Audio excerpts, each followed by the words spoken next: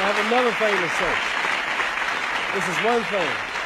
This is one thing I love and I admire about the Irish people. I studied a little of history since I've been here. I found out you've been underdogs for years, hundreds of years, people dominating you and ruling you, and you can identify with this freedom struggle, you understand? But I just have mine on the other side of the water. But we all are fighting for the same cause and idea, but we have different reasons and different approaches. Muhammad Ali, thank you very much. You're welcome.